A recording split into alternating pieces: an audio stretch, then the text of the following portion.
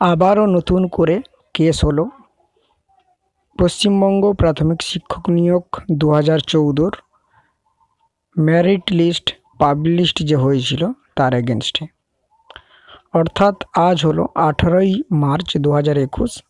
আজকে নতুনভাবেই কিন্তু কিছু ডিএলএড ক্যান্ডিডেট সহ কিছু পিটিশনার আজকে হাইকোর্টে নতুন করে কেস দাখিল করলেন। যাতে তারা সুবিচার পান এবং তাদের দাবি যেটা যে প্যানেলটাকে ক্যান্সেল করতে হবে। তার কারণটা হলো কাল যে লিস্টটা বেরিয়েছিল, তাতে কিন্তু কোথাও নাম্বার দেওয়া নাই।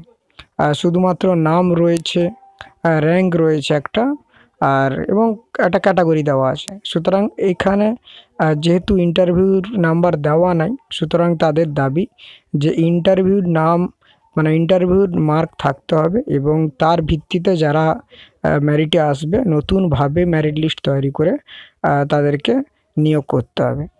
তো দেখা যাক পরবর্তী একটা শুনানির ডেট পাওয়া যাচ্ছে। সেটা অফিসিয়ালভাবে আমরা পেলে জানাব। বর্তমানে বাইশে মার্চ হাইকোর্টে এই কেসটার হেয়ারিং হতে পারে। সুতরাং বর্তমানে প্রসেস যেভাবে চলছে, চলবে। কারণ কোর্ট তো এর মধ্যে এখনও ইন্টারফেয়ার করেনি। সুতরাং নেক্সট হিয়ারিং পর্যন্ত কমিশনের হাতে সময় থাকল।